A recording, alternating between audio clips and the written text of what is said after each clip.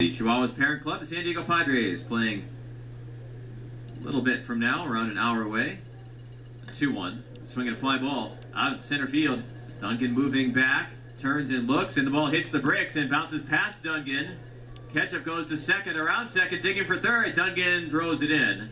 A triple by Ketchup, who hits it off the bricks, but under the yellow line. And the Bees have the tying run at third base with no outs here in the fifth inning.